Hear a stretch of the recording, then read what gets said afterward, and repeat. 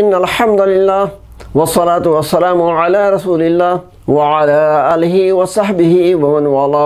معزز ناظرین، قابل احترام خواتین، نوجوان دوستو، عزیز بچوں اور بچیوں السلام علیکم ورحمۃ اللہ وبرکاتہ۔ ہم اللہ تبارک و تعالیٰ کا شکریہ ادا کرتے ہیں، جس نے ہمیں اور آپ کو یہ بابرکت مہینہ ماہ رمضان نصیب فرمایا اور روزے کے ساتھ ساتھ مختلف قسم کی عبادتوں کا خصوصی موقع نصیب فرمایا۔ ہم دعا کرتے ہیں کہ اللہ تبارک و تعالیٰ ہماری اور آپ کی جملہ عبادات کو درج قبولیت عطا فرمائے اور دونوں جہان کے اندر ہمیں اور آپ کو کامیابی اور کامرانی نصیب فرمائے امین حضرات گرامی نماز دین اسلام کا ایک اہم ترین رکن ہے۔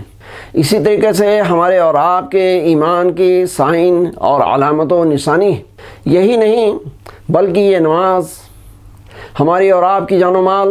عزت و آبرو کی حفاظت اور پروٹیکشن کا ذریعہ ہے۔ جب کوئی اللہ کا بندہ یا بندی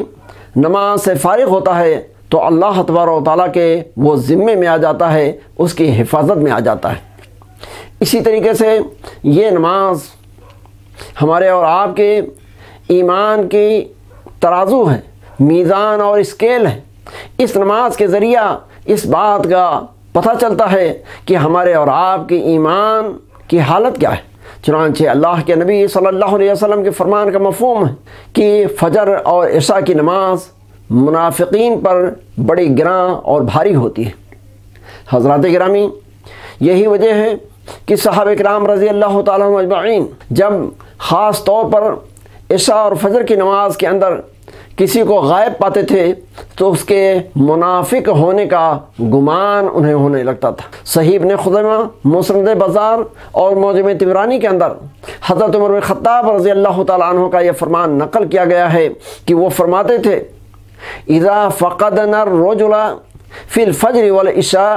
اسانا به ظن کہ جب ہم کسی شخص کو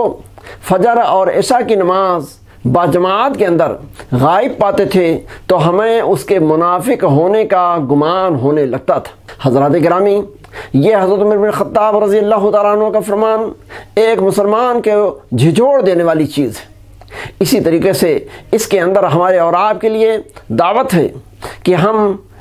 اس فرض نماز کا خصوصی طور پر اہتمام فرمائیں اور ان فرض نمازوں کے اندر بھی عشاء اور فجر کے اندر ہمیں حاضری کا پورا پورا خیال اور دھیان ہونا چاہیے۔ بڑے افسوس کی بات ہے کہ آج مسلم معاشرے کے اندر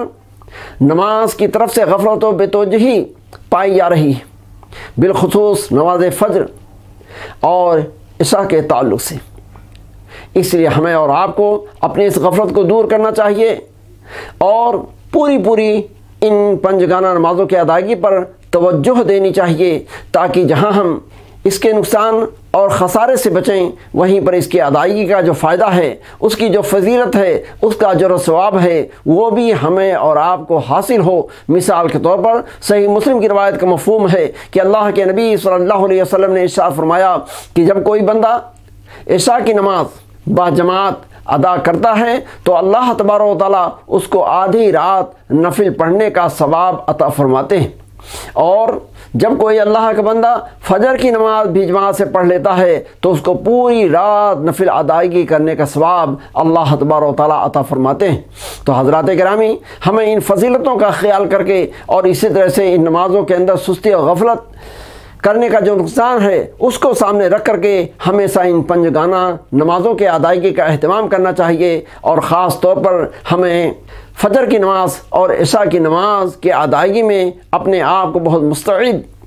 اور چوکنا رکھنا چاہیے۔ ہم اللہ تبار و تعالیٰ سے دعا کرتے ہیں کہ اللہ تبار و تعالیٰ اس ماہ رمضان کے اندر ہمیں جہاں سیام و قیام کے خیال رکھنے کی توفیق عطا فرمائے، وہیں پر ہمیں قرآن مجید کی تلاوت ہے، ذکر و اسکار ہے، توبہ استفار ہے اور نماز جماعت کی ادائیگی کا